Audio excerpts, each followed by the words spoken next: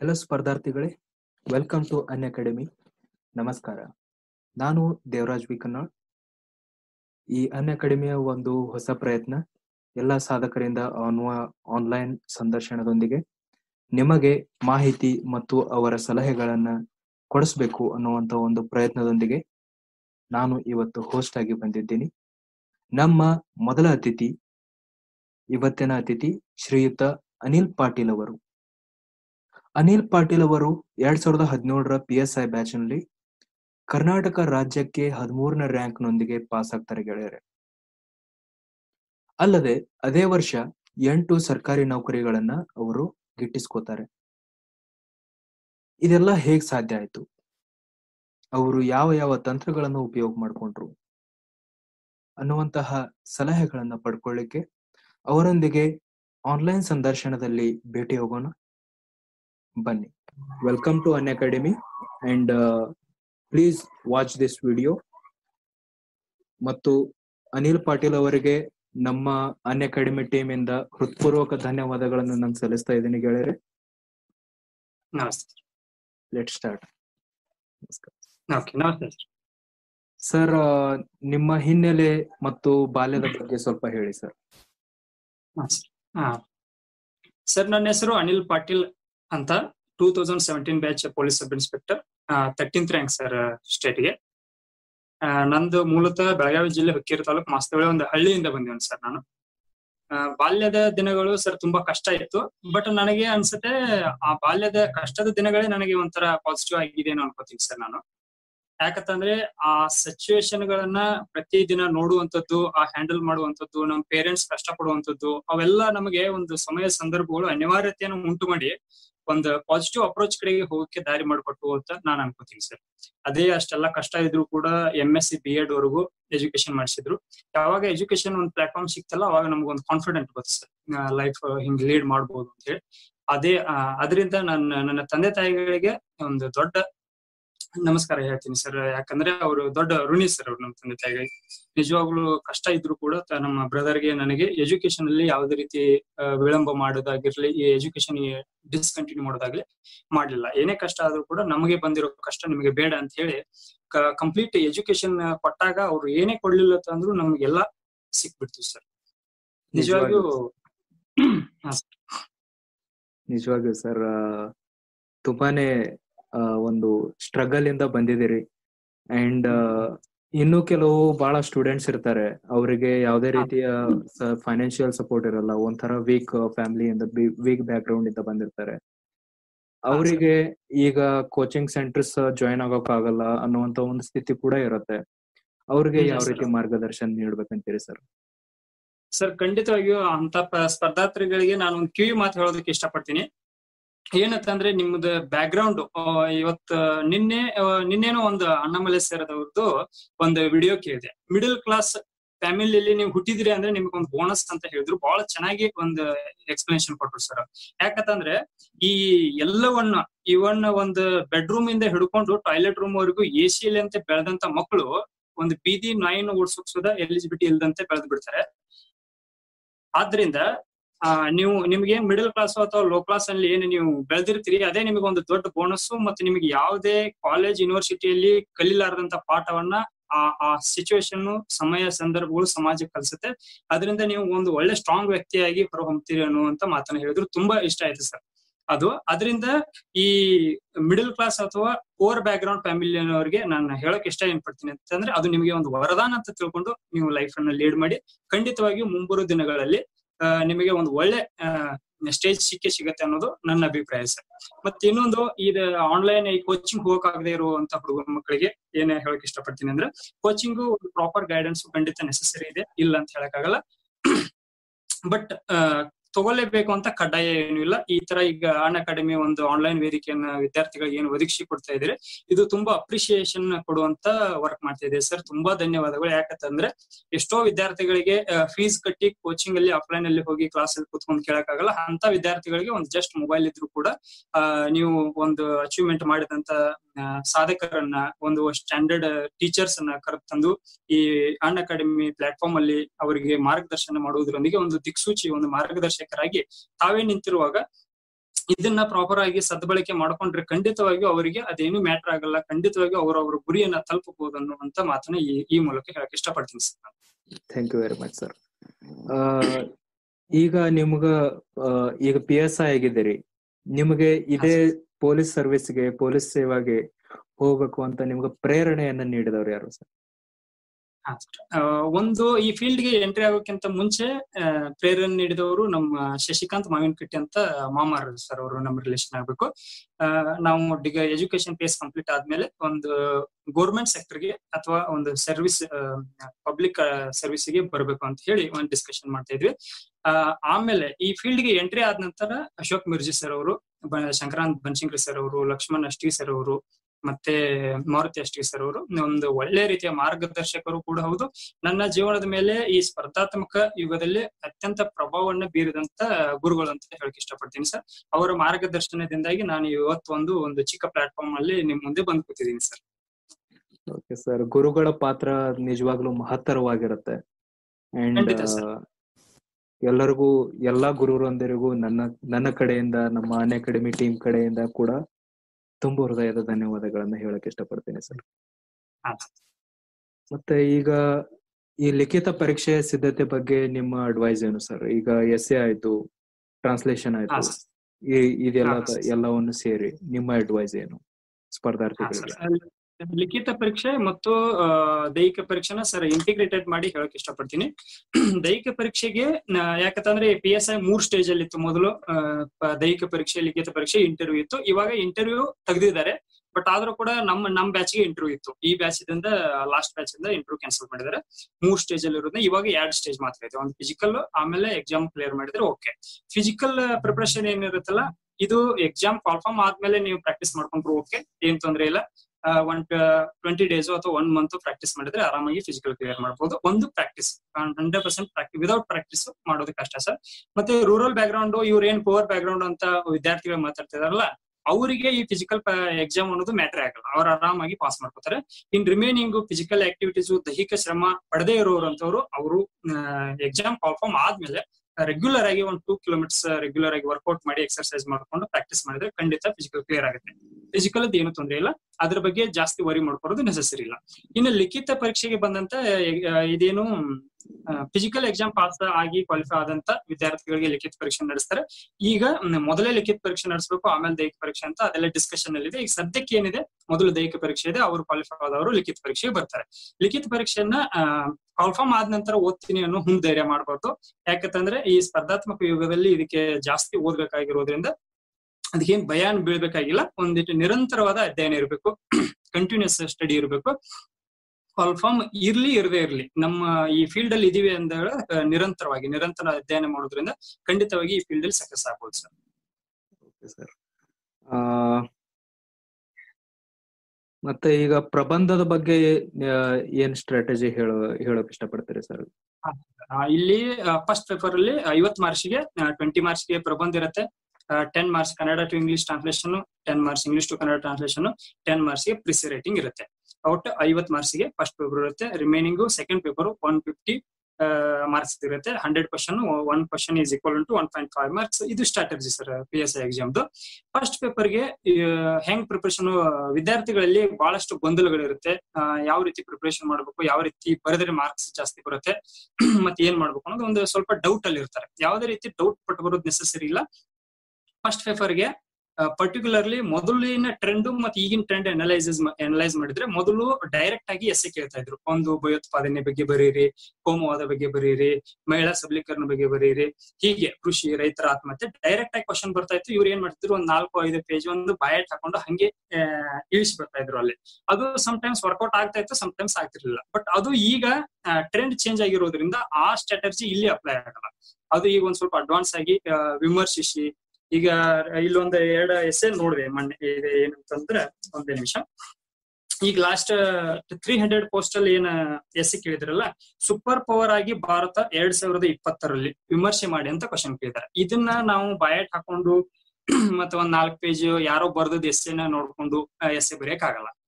ಇವಾಗ ಏನ್ ಮಾಡ್ಬೇಕು, ನಾನ್ ಎಸ್ ಎ ಸ್ಟ್ರಾಟಜಿನ ನಾನು ಮೊದಲೇ ಒಂದು ಸಿಸ್ಟಮೆಟಿಕ್ ಆಗಿ ಹೆಂಗ್ ಮಾಡಿದ್ದೆ ಅಂತಂದ್ರೆ, ಒಂದು ಮಹಿಳಾ ಸಬಲೀಕರಣ, ಒಂದು ಕೃಷಿ ಬಗ್ಗೆ, ಒಂದು ಸೈನ್ಸ್ ಅಂಡ್ ಟೆಕ್ನಾಲಜಿ ಬಗ್ಗೆ ಸೈನ್ಸ್ ಅಂಡ್ ಟೆಕ್ನಾಲಜಿ ಆದ್ಮೇಲೆ ನೆಕ್ಸ್ಟ್ ಕರೆಂಟ್ ಇವೆಂಟ್ಗೆ ಸಂಬಂಧಪಟ್ಟಂಗೆ, ಹಿಂಗೆ ಒಂದೊಂದು ಒಂದೊಂದು ಈಚೆ ಸೆಕ್ಷನ್ ಮಾಡ್ಕೊಂಡು ರೆಗ್ಯುಲರ್ ಏನ್ ಸ್ಟಡಿ ಮಾಡ್ತಾ ಇರ್ತೀವಿ ಅಲ್ಲಿಗೆ ಎಸ್ಗೆ ಸಂಬಂಧಪಟ್ಟಂತ ವಿಚಾರಗಳು ಏನಾದ್ರು ಬಂದ್ರೆ ಇಂಪಾರ್ಟೆಂಟ್ ಡಾಟಾಸ್ ಆಗಿರ್ಬೋದು, ಒಂದು ಯಾರಾದ್ರೂ ವ್ಯಕ್ತಿ ಹೆಸರುಗಳಾಗಿರ್ಬೋದು ಒಂದ್ ಯಾವ್ದೋ ಗೋರ್ಮೆಂಟ್ ತಂದಂತ ಪ್ಲಾನ್ ಆಗಿರ್ಬೋದು. ಅದು ಬಂತು ಅಂದ್ರೆ ಆಯಾ ಸೆಕ್ಷನ್ ಅಲ್ಲಿ ಆಡ್ ಮಾಡ್ತಾ ಹೋಗ್ತಾ ಇದೆ. ಅಂದ್ರೆ ಅದೇನಾಗತ್ತೆ ನಮಗೆ within one month two month ಅಲ್ಲಿ ನಮ್ಮ ಪ್ರಿಪರೇಷನ್ ಜೊತೆಗೆ ಆ ಎದ್ ಕೀವರ್ಡ್ಸ್ಗಳು ರೆಡಿ ಆಗ್ತಾ ಹೋಗುತ್ತೆ. ಅವಾಗ ನಮಗೆ ಆನ್ ಅಂಡ್ ಎವರೇಜ್ ಎಂಡ್ಗೆ ಒಂದ್ ಇಪ್ಪತ್ ಇಪ್ಪತ್ತೈದು ಪಾಯಿಂಟ್ ಸ್ಟ್ಯಾಂಡರ್ಡ್ ಪಾಯಿಂಟ್ ಸಿಗುತ್ತೆ. ಒಂದು. ಈ ಸ್ಟ್ಯಾಂಡರ್ಡ್ ಪಾಯಿಂಟ್ ಗಳನ್ನ ತಗೊಂಡು ಎಸ್ ಗಳನ್ನ ಆರಾಮಾಗಿ ಫ್ರೇಮ್ ಮಾಡಬಹುದು ಯಾವುದೇ ಕಾರಣಕ್ಕೂ ಬಾಯಟ್ ಹಾಕೊಂಡು ಇದ್ದಕ್ಕಿದ್ದಂಗೆ ಬರೆಯೋದು ಏನು ಮಾಡೋದು ನೆಸಸರಿ ಇಲ್ಲ. ಆಮೇಲೆ ಎಸ್ ಎ ರೈಟಿಂಗ್ ಏನಿದೆಯಲ್ಲ, ಅದರಲ್ಲಿ ಯಾವ ರೀತಿ ಬರೀಬೇಕು ಅಂತಂದ್ರೆ ಒಂದು ಆರರಿಂದ ಎಂಟು ಸಾಲ ಒಂದು ಪೀಠಿಕೆಯನ್ನು ಕೊಡ್ಬೇಕು ಅದಕ್ಕೆ. ಮತ್ತೆ ಕೊಟೇಶನ್ ಗಳನ್ನ ಯೂಸ್ ಮಾಡಿದ್ರೆ ಒಂದು ಇಂಪ್ರೆಸಿವ್ ಆಗಿರುತ್ತೆ. ಎಸ್ ಎ ನಾವು ಮಾರ್ಕ್ಸ್ ಈಸಿ ಆಗಿ ತೆಗಿಬಹುದು ವ್ಯಾಲ್ಯೂಟರ್ ಮೈಂಡ್ ಅನ್ನ ಕ್ಯಾಚ್ ಮಾಡಬಹುದು ಆ ಎಸ್ ಎ ಆ ಕೊಟೇಶನ್ ಕೊಡ್ಲೇಬೇಕಂತ ಏನಿಲ್ಲ. ಆ ಎಸ್ ಎಗೆ ಸಂಬಂಧಪಟ್ಟಂತ ರಿಲೇಟೆಡ್ ಎಸ್ ಕೊಟೇಶನ್ ಕೊಡ್ಬೇಕು. ಮತ್ತೆ ಕೊಡ್ಬೇಕು ಅಂತ ಹೇಳಿ ಯಾವುದೋ ಇರ್ರಿಲೆವೆಂಟ್ ಕೊಟೇಶನ್ ಕೊಟ್ಟು ಎಸ್ ಎಸ್ ಸ್ಟಾರ್ಟ್ ಮಾಡಿದ್ರೆ ಅಲ್ಲೇ ಬ್ಯಾಡ್ ಇಂಪ್ರೆಷನ್ ಆಗುತ್ತೆ ವ್ಯಾಲ್ಯೂಟರ್ಗೆ. ಹೌದು. ಆದ್ರಿಂದ ಒಂದು ಸುಟೇಬಲ್ ಸುಟೇಬಲ್ ಒಂದು ಸ್ವಲ್ಪ ನಾನು ಒಂದು ಐವತ್ತು ನೂರು ಎಸ್ ಕೊಟೇಶನ್ ಗಳನ್ನ ಕಲೆಕ್ಟ್ ಮಾಡಿದೆ ಅದ ಒಂದ್ ಸ್ವಲ್ಪ ರಿಪೀಟೆಡ್ಲಿ ಓದ್ತಾ ಓದ್ತಾ ಇರಬೇಕು. ಅದು ಯಾವ ಸುಟೇಬಲ್ಸ್ ಟೈಮಿಗೆ ಅದೇ ಕೊಟೇಶನ್ ಬಂತು ಅಂದ್ರೆ ಅದನ್ನ ಹಾಕಿ ಅದನ್ನ ಸಂಬಂಧಪಟ್ಟಂಗೆ ಒಂದ್ ಎರಡ್ ಲೈನ್ ಬರೋದು ರಿಮೈನಿಂಗ್ ಆರರಿಂದ ಎಂಟು ಲೈನ್ ಬರೋದು, ಪೀಠಿಕೆಯನ್ನು ಬರೆದು ನಂತರ ಎಸ್ ಎನ್ನ ಡೆವಲಪ್ಮೆಂಟ್ ಮಾಡ್ತಾ ಹೋಗ್ಬೇಕು. ಅದರ ಅರ್ಥ, ಹಿನ್ನೆಲೆ ಮತ್ತು ವಿವರಣೆ, ಅದು ಬಾಡಿ ಆಫ್ ದಿ ಎಸ್ನ ಡೆವಲಪ್ಮೆಂಟ್ ಮಾಡ್ತಾ ಹೋಗ್ಬೇಕು. ಎಸ್ ಯಾವ ರೀತಿ ಕೇಳಿದಾನೆ ಕ್ವಶನ್ ಓರಿಯೆಂಟೆಡ್ ಡೆವಲಪ್ಮೆಂಟ್ ಮಾಡ್ತಾ ಹೋಗ್ಬೇಕು. ಆಮೇಲೆ ಉಪಸಂಹಾರದಲ್ಲಿ ಟೋಟಲ್ ಎಸ್ ಏನ್ ನಾಲ್ಕೈದು ಪೇಜ್ ಬರೆದಿದ್ದಿರಲ್ಲ, ನಿಮ್ಮ ವಿಚಾರಗಳನ್ನ ಎಲ್ಲ ಮರ್ಜ್ ಮಾಡಿ ಪಾಸಿಟಿವ್ ನೆಗೆಟಿವ್ ಹೇಳ್ಕೊಂಡು ಅನು, ಅನುಕೂಲಗಳನ್ನು, ಅನಾನುಕೂಲಗಳನ್ನು ಬ್ಯಾಲೆನ್ಸ್ ಮಾಡಿ ಪಾಸಿಟಿವ್ ಕಡೆಗೆ ಜಾಸ್ತಿ ಒತ್ತು ಕೊಟ್ಟು ಆ ಎಸ್ನ ಎಂಡ್ ಮಾಡಬೇಕು. ಆಮೇಲೆ ಎಂಡ್ ಮಾಡಿದ ನಂತರ ಕೂಡ ಒಂದು ಪಟೇಷನ್ ಕೊಟ್ಟರು ಕೂಡ ಅದು ಇಂಪ್ರೆಸ್ ಆಗಿರುತ್ತೆ. ಕೊಡದೆ ಇದ್ರು ಪರವಾಗಿಲ್ಲ. ಒಂದು ಕೊಟ್ರೆ ಓಕೆ ಒಳ್ಳೇದು. ನಿಮಗೆ ಏನಾದ್ರು ಕ್ಲಾಶ್ ಆದ್ರೆ ಆ ಟೈಮಲ್ಲಿ ಬರೆಯುವಲ್ಲಿ ಆದ್ರೆ ಕೊಡಬಹುದು ಓಕೆ ಒಂದು ಇಂಪ್ರೆಸಿವ್ ಎಸ್ಸೆ ರೆಡಿ ಆಗುತ್ತೆ. ಮತ್ತೆ ಇನ್ನೊಂದು, ಆ ಪೀಠಿಕೆ, ವಿವರಣೆ, ಅರ್ಥ ಮತ್ತೆ ಉಪಸಮರ್ಥ ಸೈಡ್ ಹೆಡ್ ಲೈನ್ ಬರೀತಾರಲ್ಲ, ಅದನ್ನ ಬರೆಯೋಕ್ ಹೋಗ್ಬಾರ್ದು. ಅಂದ್ರೆ ಯೂಶುವಲಿ ಬರದ್ರೆ ಏನ್ ತಪ್ಪಿಲ್ಲ ಬಟ್ ಅದು ಒಂದು ಚೈಲ್ಡಿಶ್ ಲೆಕ್ಕದಲ್ಲಿ, ಅಂದ್ರೆ ಇಮ್ಮೆಚುರಿಟಿ ತೋರಿಸುತ್ತೆ ಯೂಶುವಲಿ ಅಂದ್ರೆ ಒಂದು ದೇವಸ್ಥಾನಕ್ಕೆ ಒಂದು ಕಳಶ ಇದೆ ಅಂದ್ರೆ, ಇದು ಕಳಶ ಅಂತ ಬರೆಯೋದಿಲ್ಲ. ಅದು ಮೇಲೆ ಅಲ್ಲಿ ಕಳಶ ಇದೆ, ಅಂದ್ರೆ ಕಳಶ ಐತಿ it's understanding okay that's why just we can go through that okay it's need not necessary to give headline for the that essay ಇಷ್ಟು ಮಾಡಿದ್ರೆ ಸಾಕು ಸರ್ ಎಸ್ ಎಸ್ ಸಂಬಂಧಪಟ್ಟಂಗೆ. ಓಕೆ ಸರ್ ಥ್ಯಾಂಕ್ ಯು ಈಗ ಸಾರಾಂಶ ಬರವಣಿಗೆಯನ್ನ ಅಂತ, ಅಂತಕ್ಕಂಥ ಕ್ವಶನ್ಸ್ ಕೂಡ ನಾವು ನೋಡ್ತೇವೆ. ಅದ್ರ ಬಗ್ಗೆ ನಿಮ್ ಏನು ಸರ್ ಅದ ಸಾರಾಂಶ ಬರವಣಿಗೆ ಸರ್ ಒಂದು ಇಂಪಾರ್ಟೆಂಟ್ ಸಾರಾಂಶ ಬರವಣಿಗೆಗೆ ಲಾಸ್ಟ್ ಪೇಜ್ ಕೊಟ್ಟಿರ್ತಾರೆ ಸರ್ ಅವರು. ಸಪರೇಟ್ ಆಗಿ ಲಾಸ್ಟ್ ಎಂಡ್ಗೆ ಬಾಕ್ಸ್ ಹಾಕಿ ಪೇಜ್ ಕೊಟ್ಟಿರ್ತಾರೆ. ಕೆಲವೊಬ್ರು ವಿದ್ಯಾರ್ಥಿಗಳು ಏನ್ ಮಿಸ್ಟೇಕ್ ಮಾಡ್ತಾರೆ ಅಂದ್ರೆ ಆ ಸಾರಾಂಶ ಬರವಣಿಗೆಯನ್ನ ಪ್ಲೇನ್ ಪೇಜ್ ಅಲ್ಲಿ ಬರೆದ್ ಬಂದಿರ್ತಾರೆ ಅವಾಗ ಬಿಗ್ ಜೀರೋ ಮಾರ್ಕ್ಸ್ ಆಗುತ್ತೆ ಅವರಿಗೆ. ನೀವು ಬ್ಲಾಂಕ್ ಅದ ಬಾಕ್ಸ್ ಅಲ್ಲಿ ಬರೆದ್ರೆ ಒಂದು ಹೆಚ್ಚ ಕಡಿಮೆ ಮಾರ್ಕ್ಸ್ ವೇರಿಯೇಷನ್ ಆಗುತ್ತೆ ಹೊರತು ಜೀರೋ ಮಾರ್ಕ್ಸ್ ಕೊಡಲ್ಲ. ಬಟ್ ಪ್ಲೇನ್ ಫೇಜ್ ಅಲ್ಲಿ ಮಾರ್ಕ್ಸ್ ನೀವು ಏನಾದ್ರು ಎಂಟ್ರಿ ಅಂದ್ರೆ, ಸಾರಾಂಶವನ್ನ ಒನ್ ಥರ್ಡ್ ಮಾಡಿ ಬೀಳಿಸಿದ್ರಿ ಅಂದ್ರೆ ಮಾರ್ಕ್ಸ್ ಜೀರೋ ಆಗುತ್ತೆ. ಅಂದ್ರೆ ಆ ವಿದ್ಯಾರ್ಥಿಗೆ, ಆ ಅಭ್ಯರ್ಥಿಗೆ ಅದರ ಬಗ್ಗೆ ಅರಿವು ಇಲ್ಲ ಅನ್ನೋದನ್ನ ತೋ- ಎತ್ತಿ ತೋರಿಸುತ್ತೆ ಒಂದು. ಮತ್ತೆ ರಿಮೈನಿಂಗ್ ಅದು ಅವರ ರಿಸಲ್ಟ್ ಮೇಲೆ ಬಹಳ ಎಫೆಕ್ಟ್ ಆಗುತ್ತೆ. ನೀವು ಎಸ್ ಎ ಟ್ರಾನ್ಸ್ಲೇಷನ್ ಚೆನ್ನಾಗಿ ಮಾಡಿದ್ರು ಕೂಡ ಸಾರಾಂಶವನ್ನ ಕರೆಕ್ಟ್ ಬಾಕ್ಸ್ ಅಲ್ಲಿ ಅದರ ಸ್ಪೆಸಿಫಿಕ್ ಪ್ಲೇಸ್ ಅಲ್ಲಿ ನೀವು ಎಂಟ್ರಿ ಮಾಡಲಿಲ್ಲ ಅಂದ್ರೆ ಅದು ನಿಮ್ಗೆ ಎಂಟೈರ್ ಫಸ್ಟ್ ಪೇಪರ್ ಮೇಲೆ ಪರಿಣಾಮ ಬೀರುತ್ತೆ. ಅದಕ್ಕಾಗಿ ಏನ್ ಮಾಡ್ಬೇಕು? ಆ ಸಾರಾಂಶವನ್ನ ಬಹಳ ಸಿಂಪಲ್ ಆಗಿ ಮಾಡಬಹುದು ಏನ್ ತೊಂದ್ರೆ ಇಲ್ಲ. ಮತ್ತೆ ಅತಿ ಕಡಿಮೆ ಟೈಮ್ ಸಮಯದಲ್ಲಿ ಮಾಡಬಹುದು ಫಾರ್ ಎಕ್ಸಾಂಪಲ್ ಸಾರಾಂಶ ಒಂದು ಕೊಟ್ಟಿರ್ತಾರೆ ಅಂತಂದ್ರೆ ಒಂದು ಹಂಡ್ರೆಡ್ ವರ್ಷ ಒನ್ ಫಿಫ್ಟಿ ವರ್ಡ್ಸ್ ಅಂದ್ರೆ ಒನ್ ಥರ್ಡ್ ಅಂದ್ರೆ ಒಂದು ಐವತ್ತು ವರ್ಡ್ಸ್ ಆಗುತ್ತೆ. ಮತ್ತೆ ಎಕ್ಸಾಕ್ಟ್ ಆಗಿ ಇಷ್ಟೇ ಒನ್ ನೂರ ಐವತ್ತು ವರ್ಡ್ಸ್ ಇದೆ, ಅದನ್ನ ಐವತ್ತು ವರ್ಡ್ಸ್ಗೆ ರೆಡ್ಯೂಸ್ ಮಾಡ್ಬೇಕು ಅಂತ ಹಿಂಗ್ ಕನ್ಫ್ಯೂಷನ್ ಮಾಡ್ಕೊಂಡು ಕೂರ್ಬಾರ್ದು. ಆನ್ ಅಂಡ್ ಎವರೇಜ್ ಒಂದು ಟೈಮ್ ಇತ್ತು ಅಂದ್ರೆ ಒಂದು ರೋಸ್ ಅನ್ನ ಎಣಿಸ್ಬೇಕು. One two three four five six ಎಷ್ಟೋ ಒಂದು ವರ್ಡ್ಸ್ ಇರುತ್ತೆ. ಆಮೇಲೆ ಕಾಲಮ್ಸ್ ಅನ್ನ ಎಣಿಸ್ಬೇಕು. ಇಂಟು ಮಾಡಿದಾಗ ನಮ್ಗೆ ಒಂದು ಡಿಜಿಟ್ ಬರುತ್ತೆ. ಒನ್ ಫಿಫ್ಟಿನೋ ಟೂ ಹಂಡ್ರೆಡ್ ಅದನ್ನ ಒನ್ ಥರ್ಡ್ ಮಾಡಿದ್ರೆ ಎಷ್ಟು ಬರುತ್ತಲ್ಲ, ಅಷ್ಟು ಬಾಕ್ಸ್ ಅನ್ನ ಫಿಲ್ ಮಾಡ್ಬೇಕು. ಈಗ ಫಾರ್ ಎಕ್ಸಾಂಪಲ್ ಒಂದು ಸಿಕ್ಸ್ಟಿ ಬಂತು ಅಂತ ಇಟ್ಕೊಳ್ಳಿ ನಮಗೆ ಒನ್ ಥರ್ಡ್ ಮಾಡಿದಾಗ. ನಾವು ಸಿಕ್ಸ್ಟಿನಿ ಮಾಡ್ಬೇಕು ಅಂತೆಲ್ಲ plus or minus two or three ಆಗ್ಬೋದು ಫೋರ್ ಆಗ್ಬೋದು ಪ್ಲಸ್ ಆರ್ ಮೈನಸ್ ಸಿಕ್ಸ್ಟಿಗೆ ನಿಯರ್ ಬರುವಂಗೆ ನಾವು ಒಂದು ಬಾಕ್ಸ್ ಅಲ್ಲಿ ಒಂದೇ ವರ್ಡ್ ಬರುವಂಗೆ ಮತ್ತೆ ಅದನ್ನ ಓದಿದ್ರೆ ಕರೆಕ್ಟ್ ಆಗಿ ಅಂದ್- ಅರ್ಥ ಬರ್ಬೇಕು ಅದಕ್ಕೆ. ಅರ್ಥ ಬರುವಂಗೆ ಮತ್ತು ಎಲ್ಲಾ ಹೋಲ್ ಸಾರಾಂಶ ಓದಿದ್ರೆ ಏನ್ ಅರ್ಥ ಬರುತ್ತೋ ಆ ನೀವು ರೆಡ್ಯೂಸ್ ಮಾಡಿದ ನಂತರ ಕೂಡ ಅದೇ ಅರ್ಥ ಬರುವಂಗೆ ಅದನ್ನ ರೆಡ್ಯೂಸ್ ಮಾಡ್ತಾ ಬರ್ಬೇಕು. ಇನ್ನೊಂದು. ಮತ್ತೆ ನೀವು ಅಲ್ಲಿ ನಿಮ್ಮ ಓನ್ ವರ್ಡ್ಸ್ ಗಳನ್ನ ಕೂಡ ಯೂಸ್ ಮಾಡಬಹುದು ಅಲ್ಲೇ ಇದ್ದ ವರ್ಡ್ ಅನ್ನ ನೀವು ಕಟ್ ಕಟ್ ಮಾಡಿ ಬರಿಬೇಕು ಅಂತ ಹಿಂಗೇನಿಲ್ಲ. ಒಂದು ಪ್ಯಾರಾಗ್ರಾಫ್ ಇತ್ತಂದ್ರೆ ನೀವು ಅಂಡರ್ಸ್ಟ್ಯಾಂಡ್ ಮಾಡ್ಕೊಂಡು ನಿಮ್ಮ ವರ್ಡ್ ಅಲ್ಲಿ ಬಾಕ್ಸ್ ಅಲ್ಲಿ ಎಂಟ್ರಿ ಮಾಡಬಹುದು ಮತ್ತೆ ಇನ್ನೊಂದು ಇಂಪಾರ್ಟೆಂಟ್ ಅಂದ್ರೆ ಶೀರ್ಷಿಕೆ ಕೊಡಿ ಅಂತ ಹೇಳಿರ್ತಾರೆ ಅವ್ರು. ಕ್ವಶನ್ ಅಲ್ಲಿ ಮೆನ್ಷನ್ ಮಾಡಿರ್ತಾರೆ. ಸಾರಾಂಶಗೊಳಿಸಿ ಅಂತ ಸೂಕ್ತವಾದ ಶೀರ್ಷಿಕೆಯನ್ನು ನೀಡಿ ಅಂತ.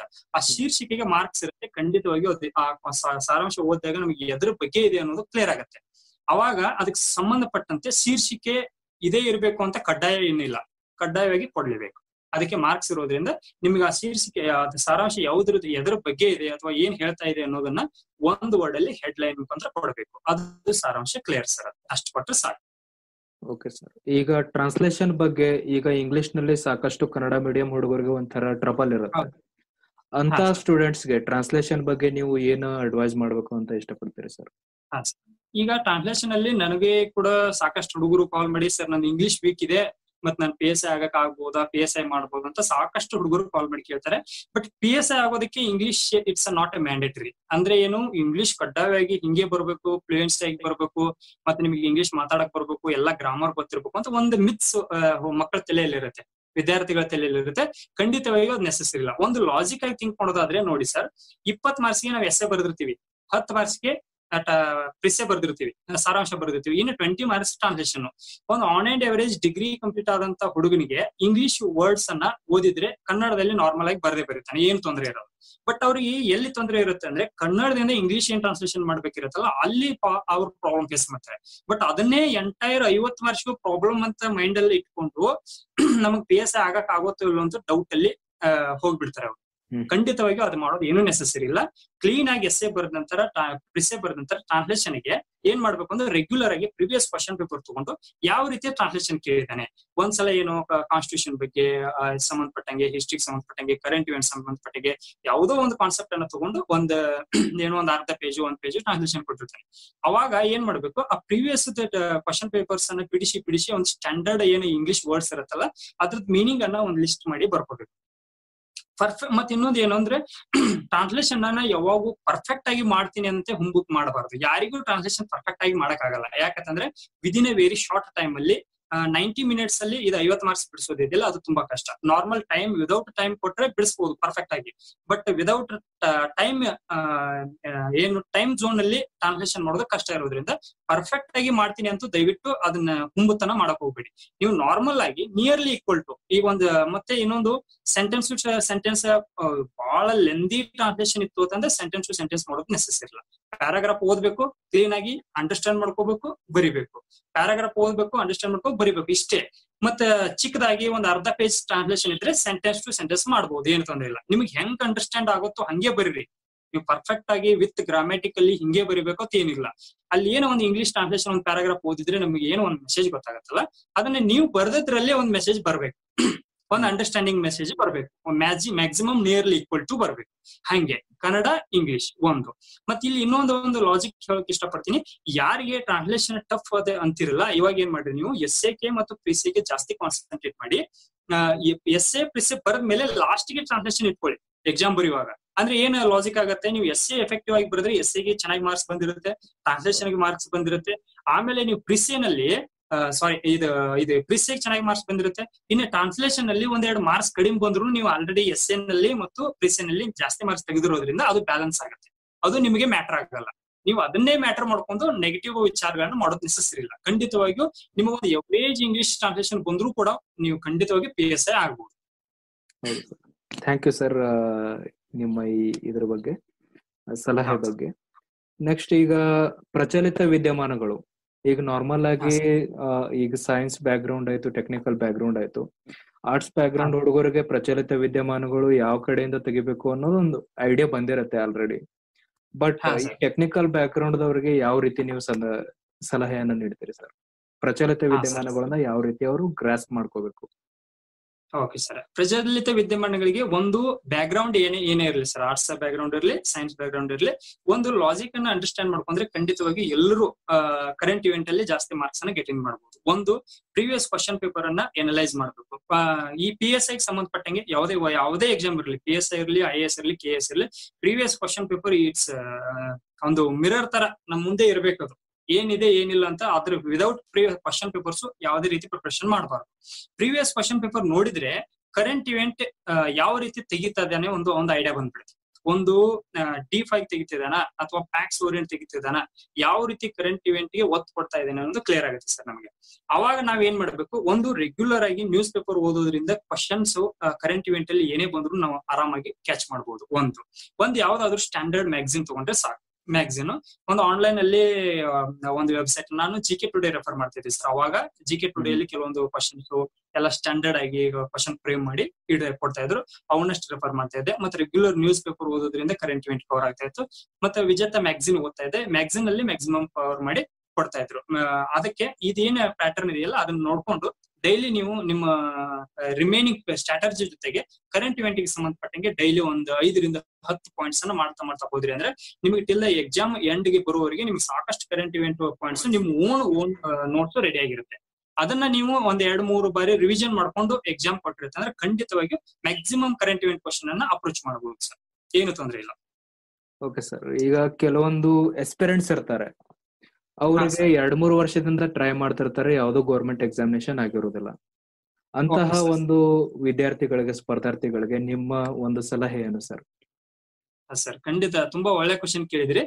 ಆ, ಒಂದು ಈ ಸ್ಪರ್ಧಾರ್ಥಿಗಳಿಗೆ ನಾನು ಇದ ಏನ್ ಹೇಳಕ್ ಇಷ್ಟಪಡ್ತೀನಿ ಅಂತಂದ್ರೆ ಯಾವಾಗ್ಲೂ ಈ ಕಾಂಪಿಟೇಟಿವ್ ಅಲ್ಲಿ ಓದೋರು ಒಂದು ಏನ್ ಮೈಂಡ್ ಸೆಟ್ ಇಟ್ಕೋಬೇಕು ಅಂದ್ರೆ ಯಾವಾಗ್ಲೂ ಒಂದು ಪೊಲೀಸ್ಗೆ ಎಕ್ಸಾಮ್ ಟ್ರೈ ಮಾಡ್ತಿದಾರ, ಅದು ಸೆಲೆಕ್ಷನ್ ಆಯ್ತು ಅಂತಂದ್ರೆ ಅದನ್ನ ಪ್ಲಾಟ್ಫಾರ್ಮ್ ಆಗಿ ತಗೊಂಡು ಪಿ ಎಸ್ ಐಗೆ ಪಿ ಎಸ್ ಐ ಪ್ಲಾಟ್ಫಾರ್ಮ್ ತಗೊಂಡು ಕೆ ಎಸ್ಗೆ ಕೆ ಎಸ್ ಪ್ಲಾಟ್ಫಾರ್ಮ್ ತಗೊಂಡು ಐ ಎಸ್ಗೆ ಪ್ರಿಪರೇಷನ್ ಮಾಡ್ತಾ ಹೋಗ್ಬೇಕು. ಒಂದೇ ವೇಳೆ ಪೊಲೀಸ್ ಟ್ರೈ ಮಾಡ್ತಿದಾರ ಪೊಲೀಸ್ ಆಗ್ಲಿಲ್ಲ ಅಂತಂದ್ರೆ ನನಗೆ ಗಾಡ್ ನನಗೆ ಇದಕ್ಕಿಂತ ದೊಡ್ಡ ಜಾಬ್ ಕೊಡೋದಕ್ಕೆ ನನ್ ಪೊಲೀಸ್ ನನಗೆ ಸೆಲೆಕ್ಷನ್ ಆಗಿಲ್ಲ ಅಂತ ಪಾಸಿಟಿವ್ ಅಲ್ಲಿ ಮೈಂಡ್ ಅಲ್ಲಿ ತಗೊಂಡು ಡೈರೆಕ್ಟ್ ಆಗಿ ಕಂಟಿನ್ಯೂಸ್ ನಿಮ್ದು ಏನ್ ಸ್ಟ್ರಾಟಜಿ ಇರುತ್ತೆ ಅದನ್ನ ಮುಂದುವರ್ಸ್ಕೊಂಡು ಹೋಗ್ಬೇಕು. ಯಾಕಂತಂದ್ರೆ ಎಷ್ಟೋ ಜನಗೆ ಪಿ ಎಸ್ ಐ ಆಗಕ್ ಆಗದೆ ಇರೋರು ಕೆ ಎಸ್ ಆಗಿದ್ದಾರೆ. ಸಾರಿ ಪಿ ಸಿ ಆಗಕ್ಕೆ ಇರದ ಆಗದೆ ಇರೋರು ಪಿ ಎಸ್ ಐ ಡೈರೆಕ್ಟ್ ಆಗಿ ಆಗಿದೆ ಕೆ ಪಿ ಎಸ್ ಐ ಆಗಕ್ ಆಗದೆ ಇರೋರು ಕೆ ಎಸ್ ಆಗಿದ್ದಾರೆ. ಕೆ ಎಸ್ ಮಾಡಕ್ ಆಗದೆ ಇರೋರು ಐ ಎಸ್ ಆಗಿದ್ದಾರೆ. ಇವು ಲೈವ್ ಎಕ್ಸಾಂಪಲ್ ನಮ್ ಕಣ್ ಮುಂದಿದೆ. ಅದಕ್ಕಾಗಿ ನನಗೆ ಇನ್ನೊಂದನ್ನ ಬೇರೆಯವ್ರ ಲೈಫ್ ಜೋಡೆ ಕಂಪೇರ್ ಮಾಡ್ಕೊಂಡು ಅವ್ರ ಟೈಮ್ ಜೋನ್ ಬೇರೆ ಇರುತ್ತೆ ನಮ್ ಟೈಮ್ ಜೋನ್ ಬೇರೆ ಇರುತ್ತೆ. ಕೆಲವೊಬ್ರು ಏನ್ ಮಾಡ್ತಾರೆ ವಿದಿನ್ ಶಾರ್ಟ್ ಪೀರಿಯಡ್ ಅಲ್ಲಿ ಸಕ್ಸಸ್ ಆಗಿರ್ತಾರೆ ಕಡಿಮೆ ಅವಧಿಯಲ್ಲಿ.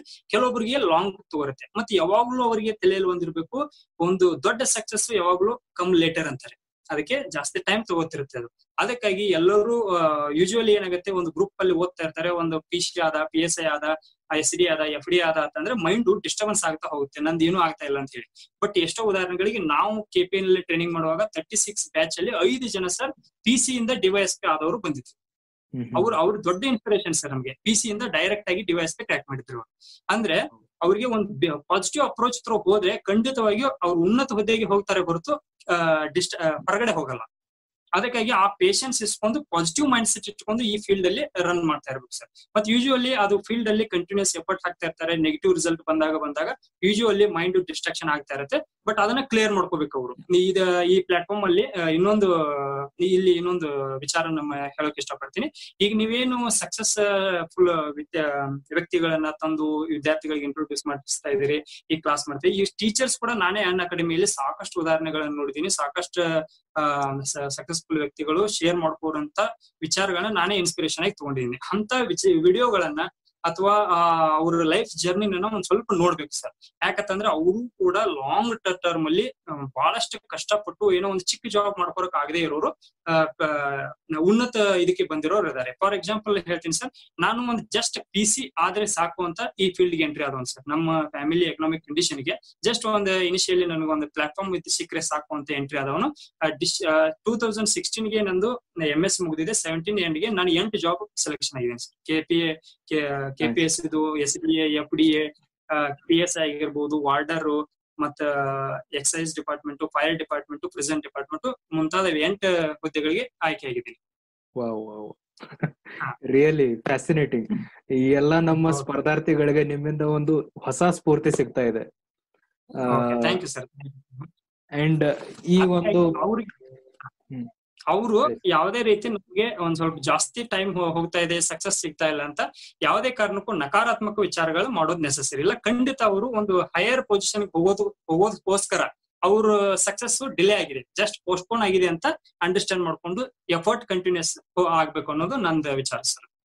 Thank you very much sir ಅನ್ ಅಕಾಡೆಮಿಯ ಈ ಒಂದು ಪ್ರಯತ್ನದ ಬಗ್ಗೆ ತಮ್ಮ ಅನಿಸಿಕೆ ಏನು ಸರ್ ಹಾ ಸರ್, ಇದು ಈ ಪ್ರಯತ್ನ ಈ ಅನ್ ಅಕಾಡೆಮಿ ಆನ್ಲೈನ್ ಪ್ಲಾಟ್ಫಾರ್ಮ್ ಇದೆಯಲ್ಲ, ಇದು ಈ ಲಾಕ್ಡೌನ್ ಸಮಯದಲ್ಲಿ ಮತ್ತ ಲಾಕ್ಡೌನ್ ಇಲ್ಲದೆ ಇರೋ ಸಮಯದಲ್ಲಿ ಒಂದು ಬಡ ವಿದ್ಯಾರ್ಥಿಗಳಿಗಾಗಿರ್ಬೋದು, ಯಾರಿಗೆ ಕೋಚಿಂಗ್ ಮಾಡೋಕ್ ಆಗದೆ ಇರೋರು ಅಥವಾ ಪ್ರಾಪರ್ ಗೈಡೆನ್ಸ್ ಇಲ್ಲ ಎಲ್ಲರಿಗೂ ಪ್ರಾಪರ್ ಗೈಡೆನ್ಸ್ ಸಿಗಲ್ಲ. ಕೆಲವೊಬ್ಬರಿಗೆ ಪ್ರಾಪರ್ ಗೈಡೆನ್ಸ್ ಸಿಗತ್ತೆ, ಕೆಲವೊಬ್ಬರಿಗೆ ಸಿಗಲ್ಲ. ಆ, ಇನ್ನೊಂದು ಮಾತಿದೆ your destiny is defined by your decision ಅಂತ ಹೇಳಿ.